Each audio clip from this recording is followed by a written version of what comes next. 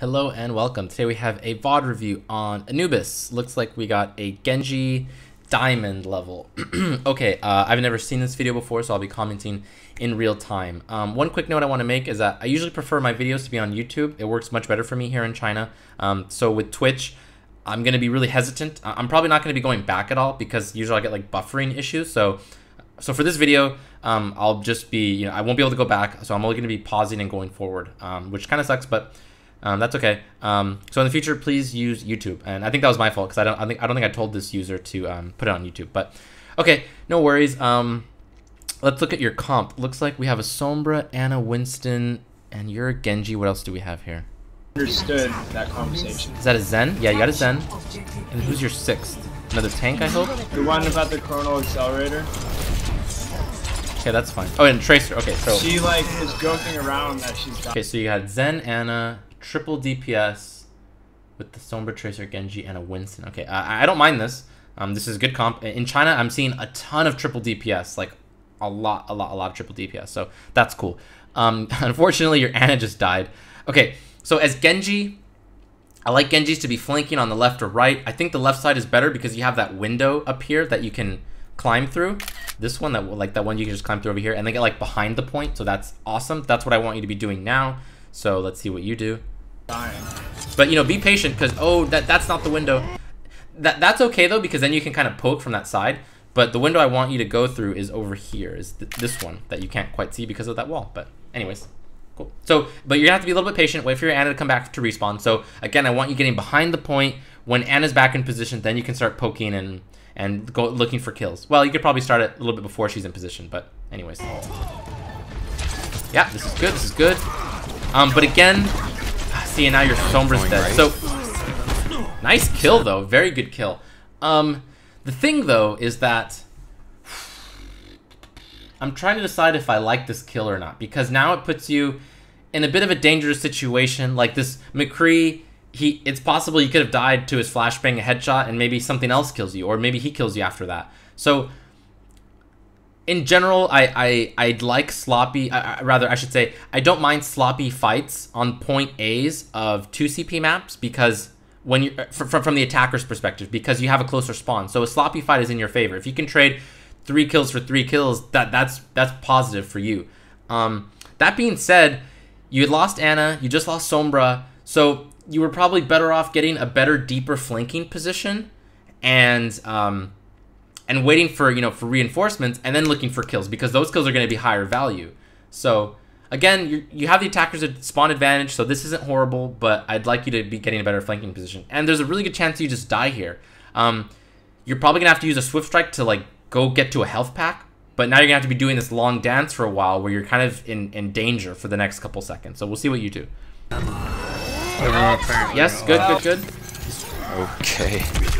He doesn't have flashbang, so you can win that, but you back off. So I like that. I like that you backed off. I would have liked to see you go up into that window where that fatty, that really big, that 250 health pack is, and again poke from there, because then you could poke from this area, right? Because right now you're in the middle of your your opponents. You're like kind of sandwiched, and you're in a really dangerous spot. So you haven't quite gotten out of danger. I think you had an opportunity to get out of danger earlier, again by going into that room with the health pack, but now you're kind of still in danger. Um, that being said, I'm really happy that you respected that McCree. You didn't just try to keep trying to 1v1 him. So, cool. Um, cool, yeah, because you didn't have Swift Strike or, or Deflect. So there's a good chance he just head headshots you and then a body shot and you're dead. Or just two headshots or something. So, cool, I still like what you're doing. Um, you're trying to be a nuisance. Oh, you need that Swift Strike so bad. Okay, cool. You wall climb. Good, good, good. Nice. Winston's up top. Oh shit, they have a three in that corner with a Mercy. Winston's you got this, you got this. Nice left click there. Reinhardt tacked. Rein's low. Ana's low. Nice, nice. Let's clean up now. Okay, so. Nice, just Hanzo and McCree. So I want to take a moment to talk about about your your um your play. So it's very obvious that you are a highly skilled player. You have those raw mechanical skills. Um, you know how to brawl. Um, now, now the question is, how, how, do you get to the next level? You're diamond. How do you shoot for? I think based on your raw skills alone, you could easily hit masters with absolutely no no more further improvements. Like you could probably just hit masters just based on your raw skill. Uh, you know, assuming you don't like tilt or or anything like that. So now the question is, how do you become even higher level? How do you hit GM? How do you hit top 500? I think you have the ability to do that. Now it's just a matter of refining your skills and thinking about this game in a more strategic way. The style that you're playing, after a while, you're going to notice that it's going to be really hard to, to keep this chaotic style up because soldiers, McCrees are going to kill you faster, Tracers are going to kill you faster, Roadhogs are going to kill you faster. And when you kind of put yourself in these really dangerous situations, you know, it's really good for refining your brawling skills, but in terms of elevating and climbing, you're going to have to approach this game from more from a more strategic standpoint. So that that's going to be with flanking and getting into better positions and disrupting your opponents more. So really kind of thinking about how can I be the most annoying to my opponents and and how can I minimize risk when I'm fighting? Like so right now you're playing a really risky style where like you're you're brawling in, in between your your your um your opponents, you're kind of in the middle of them and you're just kind of like dealing with these things with from all sides. And that's great. It's really good that you practice that kind of stuff. But a smarter Genji player is going to work you know, smarter, not harder. He's gonna get a really deep flank, and he's gonna just poke people from the back until until they they're they until you force them in a position where they're where they're screwed. Like you're gonna push them into a ball, and then your team can collapse on them. Um, so for instance, like I'm a really crappy Genji player. I'm probably I would say probably a little bit worse than you in terms of mechanics, but like I could play at a higher level because I'm playing from a more strategic standpoint. So I think you could very very easily climb up to GM no problem if if you if you approach this game more strategically. Um, you have the raw the raw skill mechanics. Now you just need to apply some of this game theory, and um, and it, and you'll climb. So right now the biggest problem I have with your gameplay is you're not flanking enough. I want you to get in position, start fights from the from from the back from your opponent's back line, and then move forward. Right now you're doing the opposite. You're starting at your enemy's front line, and then you're going backwards or towards their back line.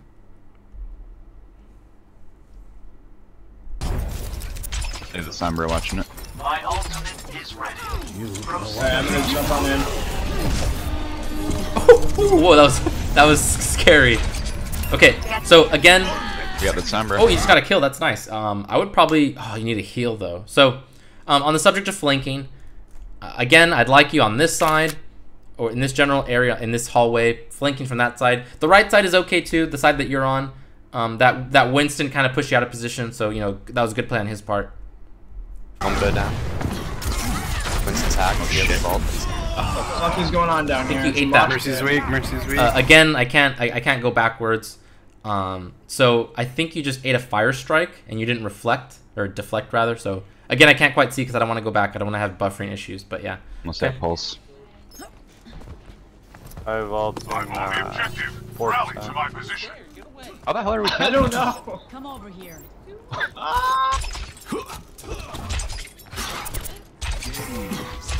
Uh, you guys are like gonna come back in, so I was fucking around. So like right now, right now you could be flanking on the left or right side. Oh, but you just lost Zenyatta, so you're gonna have to wait for his respawn. Um, but yeah, so I'd like you to start looking for positions where you can start flanking. right now you're just poking, and this isn't. And and there goes your tracer. Okay, so just wait, just wait, wait. Be patient, be patient. Don't do anything silly. Just heal up and then get a nice flank.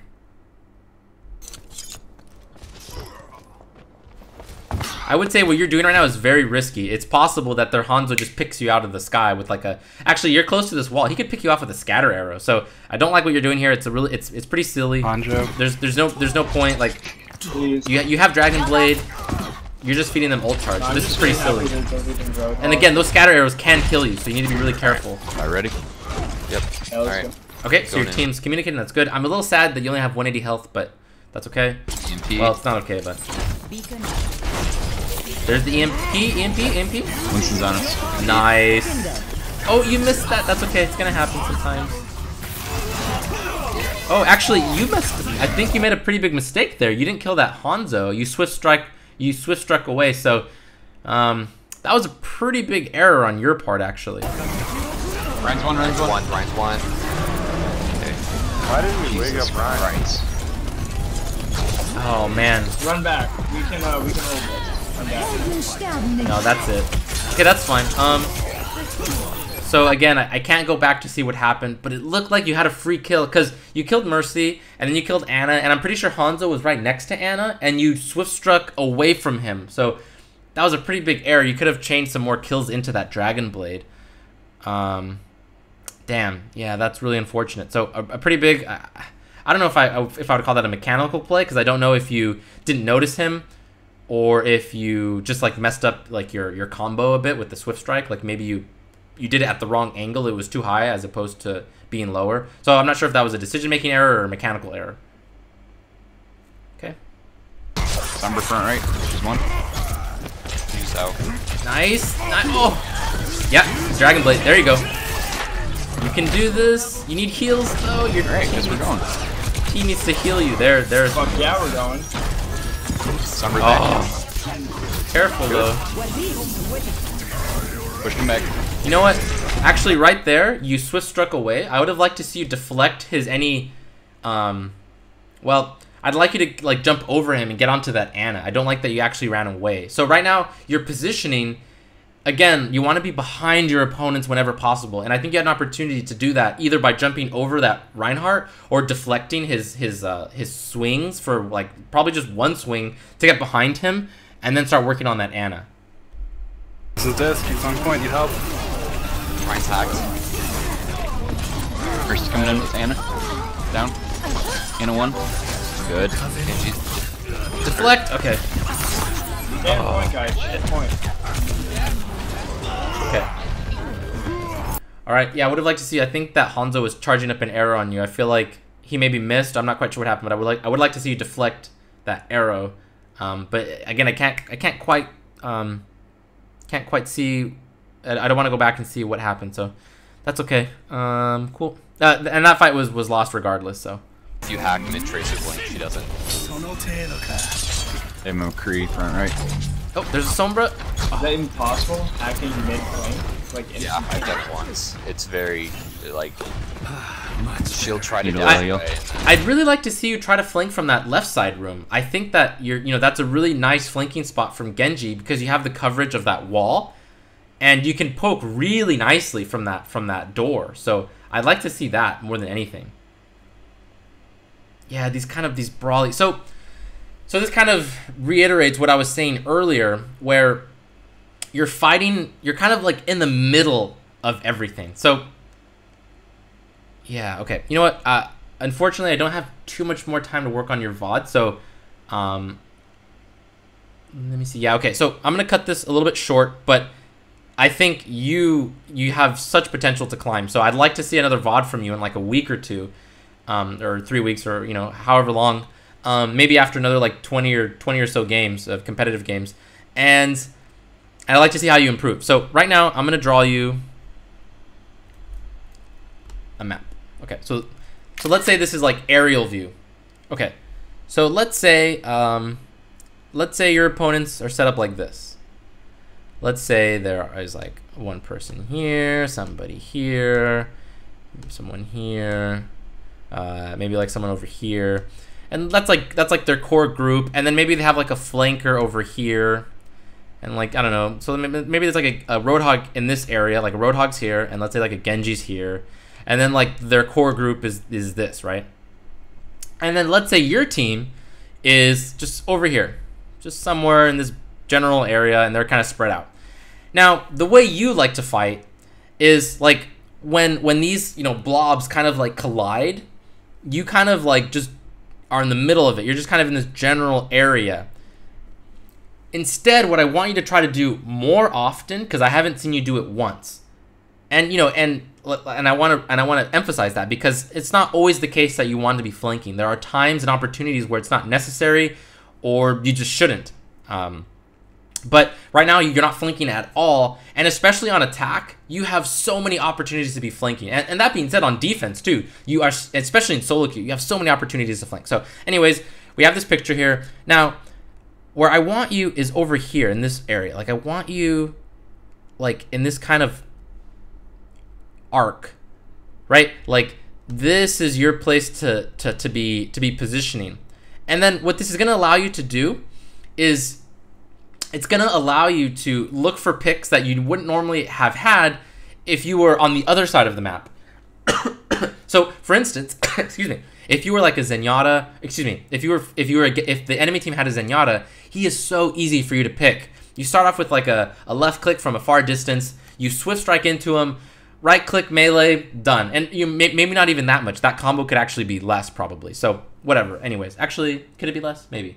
It depends on if how many headshots you get. But whatever. Anyways, the point is, if you if you take the time to flank and bonus points if you can do it stealthily by crouching and you know being patient, then you'll find these opportunities and these these games are going to be so so much easier for you. It- like right now you're just kind of smashing your head against the wall whereas if you do these flanks you're going to you're going to just really elevate your gameplay. Like these games are going to be so much easier. You're going to be like, "Wow, why why wasn't I doing this earlier?" Um, because I've seen Genji's lower skill than you, but flanking more, and you kind of applying this theory, and you know, and just being a higher uh, higher rank than you because again because of how they're approaching the game in this manner. So, so yeah, so I'm cutting this VOD a little bit short, but it's only because I can tell you have raw skill. You don't need any of you know any advice there.